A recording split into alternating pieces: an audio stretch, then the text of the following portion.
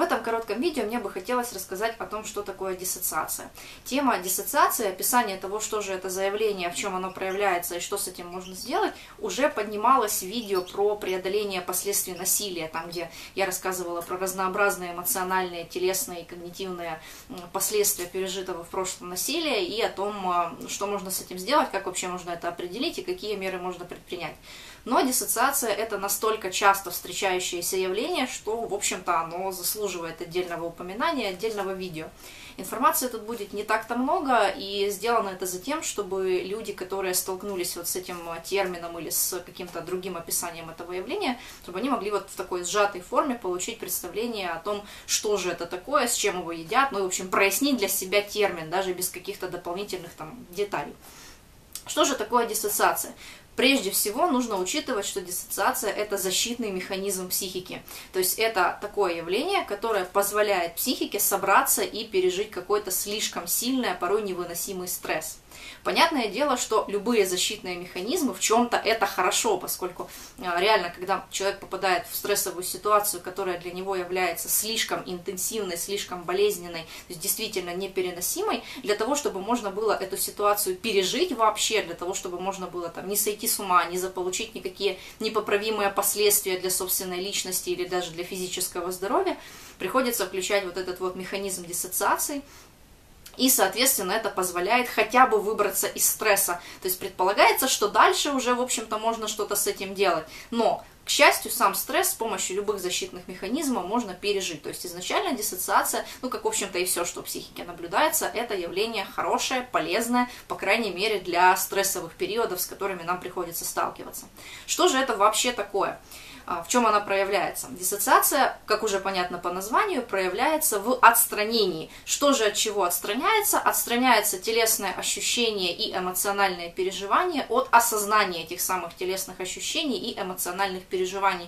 То есть, грубо говоря, человек, вот то, что мы имеем в виду обычно, когда говорим «я», отдаляется от собственных ощущений и эмоций. Ну и опять же, зачем это нужно? Для того, чтобы эти ощущения и эмоции, грубо говоря, не сорвали крышу, для того, чтобы можно было это пережить. Диссоциация это достаточно такой интенсивный и жесткий механизм защитный, который э, и правда изолирует вот эти эмоциональные переживания и телесные ощущения, но, по крайней мере, они перестают быть непереносимыми.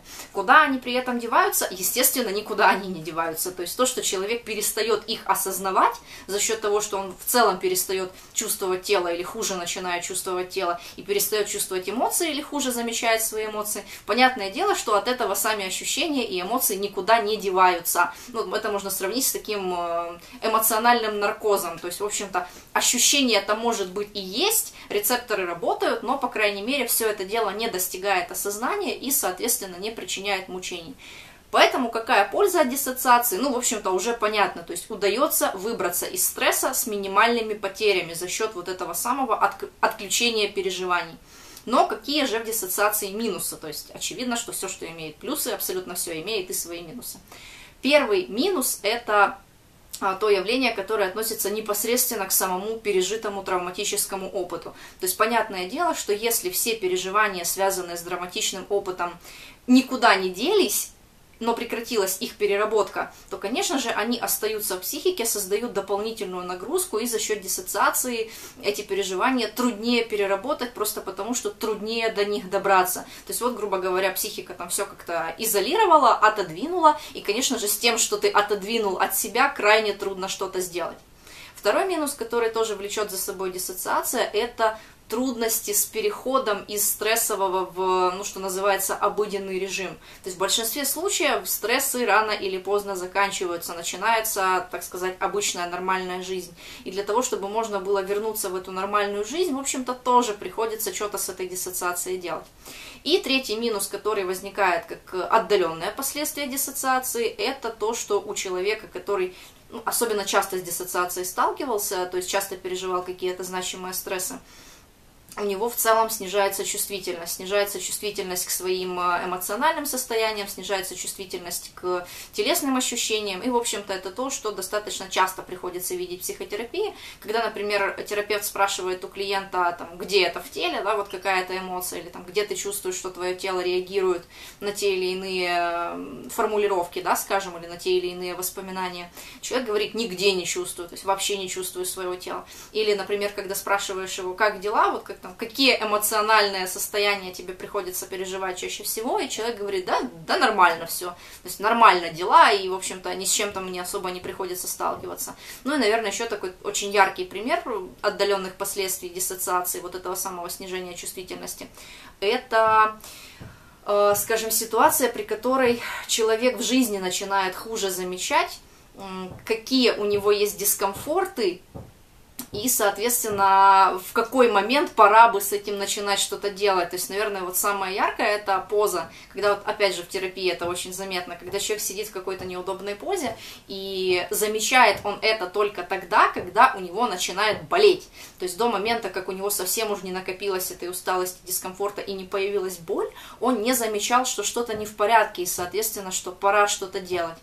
Ну и, в общем-то, именно исходя из вот этих вот э, нюансов, да, диссоциация это что-то, что имеет смысл преодолевать, что-то, над чем имеет смысл работать.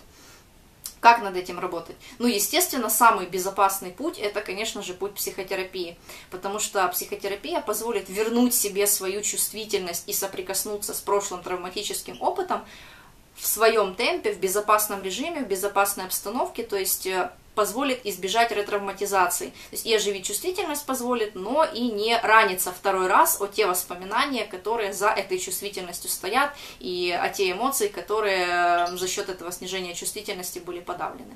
Но если чувствуется, что нет готовности к психотерапии, то есть это тоже очень часто бывает, люди говорят, нет, я как бы, что-то я не хочу на психотерапию. И вот за этим чаще всего стоит бессознательное понимание, что не готов я встретиться с этим самым материалом. Если на данном этапе это так, то имеет смысл сделать хотя бы какие-то промежуточные меры, то есть что-то, что позволит позаботиться о теле.